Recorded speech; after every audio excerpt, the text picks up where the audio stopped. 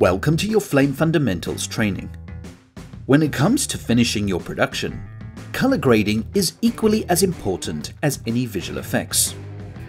In short, color grading is the manipulation of colors to stylize your production, and this also includes matching shots from different cameras, locations, time of day, etc.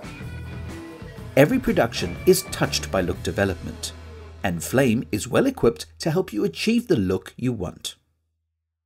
So in this video, you'll be introduced to grading via the effects environment, getting to grips with the scopes, and start becoming familiar with the powerful Master Grade toolset.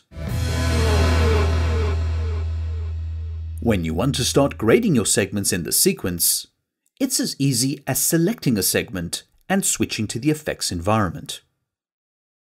If you have used any other grading tools in the past, you should recognize some of the typical color grading tools. Now, very importantly, you are in an area known as the effects environment and not the grading or color environment. The reason for stating the obvious is that the effects environment is also used for other timeline effects applied to the selected segment. If nothing is applied to the shot, then the grading tools will always appear as the default interface. If you see something different to what I have, you would go to the Effects ribbon and choose the Image Timeline Effects. Now when a timeline effects has an orange LED, it means it's ready to use, but it has not been applied to the current shot.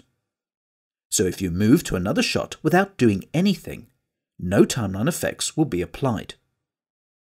Only when you perform an adjustment, the LED will turn blue and now the effect is applied to your shot. To delete what you've done, right-click on the Timeline Effects ribbon for its menu and choose Delete. The LED turns orange again, which means it's not been applied to the shot, but it's ready to use if you do. Now the layout of the effects environment is quite focused but very straightforward. You have the viewer at the top to see your shots, a storyboard reel in the middle to identify and navigate the shots in the current sequence, and your controls at the bottom to perform your grading. The panel to the right is known as the Explorer, and this is where you would save any grading or VFX presets, as well as any reference images you may use for a grading comparison. Since you'll do some of that later, hold Control and gesturally swipe right to hide the Explorer. You can also turn the Explorer on and off using the Flame main menu.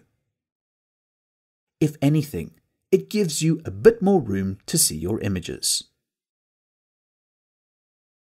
Now in terms of navigating your shots, I mentioned the storyboard reel earlier, where you can scroll the sequence and select shots. If you have more than one video track in the sequence, you can switch tracks using the pull-down menu. The time bar is also another means of moving between shots. By default, the time bar shows the entire sequence and you can navigate the shots. If you want to lock the positioner to a single shot, hold Control and the positioner won't go beyond the beginning or end of the current segment. Now let's say you want the time bar to focus on a single shot instead of showing everything. You can switch the player options from timeline range to segment range.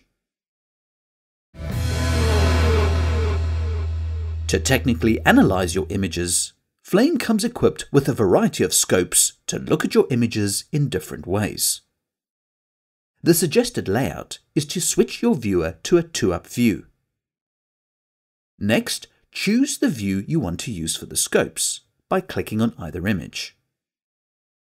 Now click the Scopes button and your default scopes will appear. The scopes function in real time and will update with any changes in the viewport. To help you along, click the arrow next to the Scopes button to give you a range of presets to choose from. Everything from different kinds of scopes all the way up to scopes configured for HDR grading. You can also open the scope settings and tweak the layout, as well as any scope settings to get the appropriate readings. The scope settings are persistent, and you shouldn't have to set this up again. However, if this is always what you use, I suggest saving it as a preset. When you enter the effects environment with the image timeline effects, the main grading tool you use is known as the master grade. This is a powerful yet easy to use tool with full HDR support. At the top left of the viewport, you have the grading pipeline from left to right.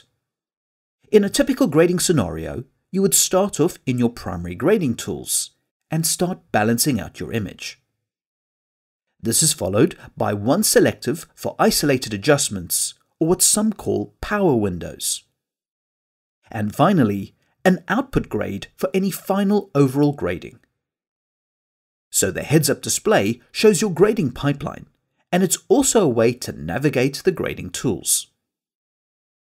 There are also other ways to see and navigate the grading pipeline, but the HUD is certainly one of the fastest. If you don't see it in the view, ensure you are looking at the result view or one of the contextual views using the pull-down menu. Choosing the primary grade in the heads-up display, the master grade gives you primary, tone, and curve controls. Everything can be driven by the cursor, keyboard, or supported tangent grading panels. Plenty of options to choose from. For instance, you could switch to the primary controls and adjust the overall levels using lift, gamma, gain, and offset sliders. You could also use any of the wheels to add or remove color from a shot.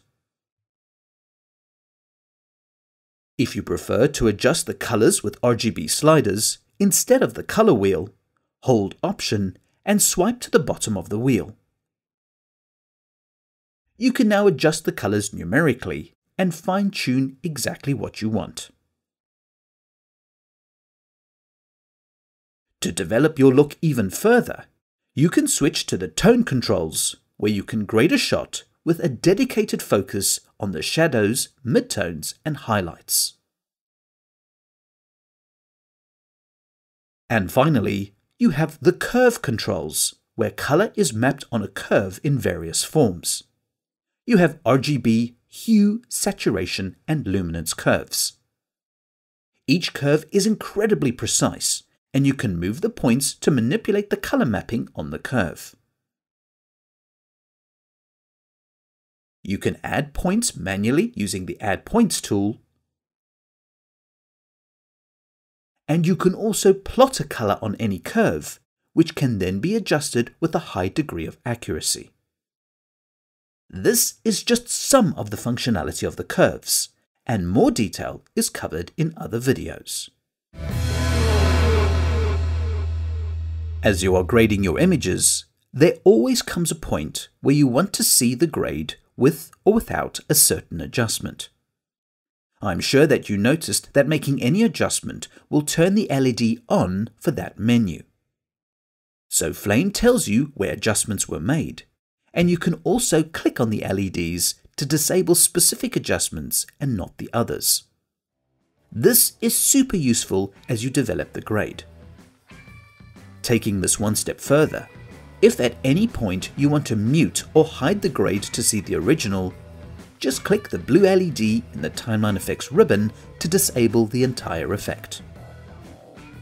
Clicking the LED again will bring back the grade. Please move on to the next video, and don't forget to like and subscribe to the Flame Learning channel. Thanks for watching.